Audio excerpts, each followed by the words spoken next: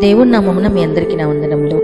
ఈరోజు దేవుని వాగ్దానము హగ్గై గ్రంథము రెండవ అధ్యాయము తొమ్మిదవ వచనము. ఈ కడవరి మందిరం యొక్క మహిమ మునుపటి మందిరం యొక్క మహిమను మించినని సైన్యములకు అధిపతి యొక్క యహోవా సెలవిచ్చుచున్నాడు. చూడండి దేవుడు మహిమ ఘనత ప్రభావములకు అర్హుడు. చీకట్లో ఉన్న మన జీవితాలకి వెలుగునిచ్చి ఆయన యొక్క మహిమ ద్వారా మనల్ని నడిపిస్తూ పోషిస్తున్న గొప్ప దేవుడు. అయితే ఈ యొక్క వచనంలో మనం చూస్తే కడవరి మందిరం యొక్క మహిమ మునుపటి మందిరం యొక్క మహిమను మించునని చెప్తున్నారు. ఎందుకు మునుపటి మందిరం యొక్క మహిమ కంటే ఈ కడవరి దినాల్లో ఆ యొక్క మందిరం యొక్క మహిమ ఇంకా రెట్టింపు అవుతుందని చెప్తున్నారు. ఎందుకంటే ఆ కాలంలో దేవుడు చేసిన అద్భుతమైన కార్యాలు ఆశ్చర్యమైన కార్యాలు అవి శరీరానికి సంబంధించినవి. కానీ ఇప్పుడు దేవుడు చేస్తున్న అద్భుతాలు మన యొక్క అదృష్టానికి సంబంధించినవి.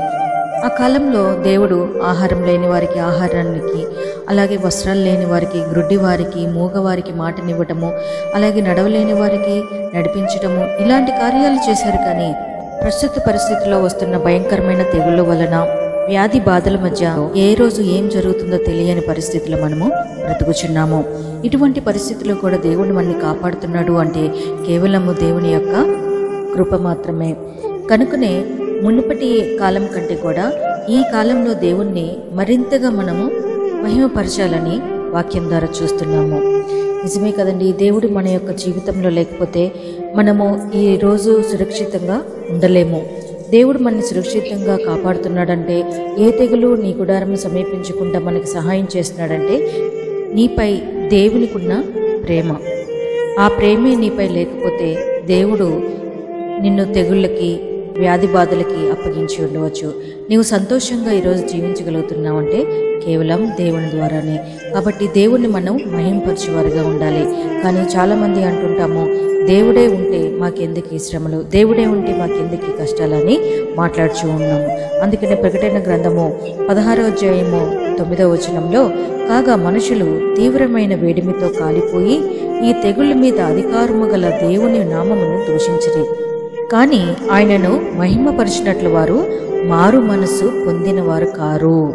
చూడండి ఇక్కడ వీళ్ళు అగ్నిలో కాలిపోతూ కూడా తెగుళ్ళ మీద అధికారి గల దేవుని నామంను దూషిస్తున్నారంట.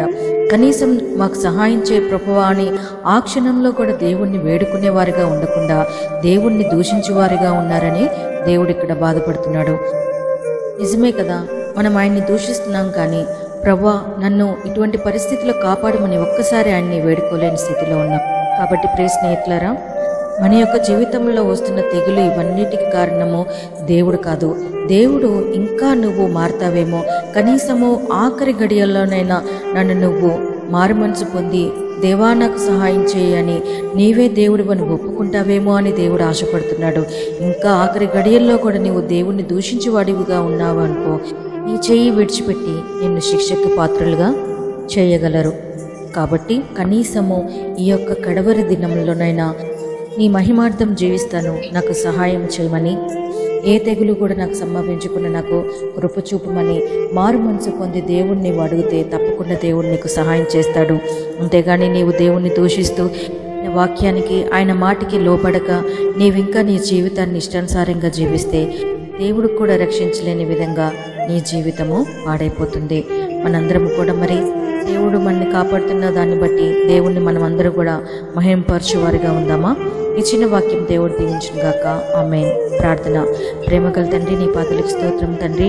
నైనా నిజమే తండ్రి కడవటి దినముల్లో తండ్రి నైనా మేము బ్రతుకుచున్నాం తండ్రి.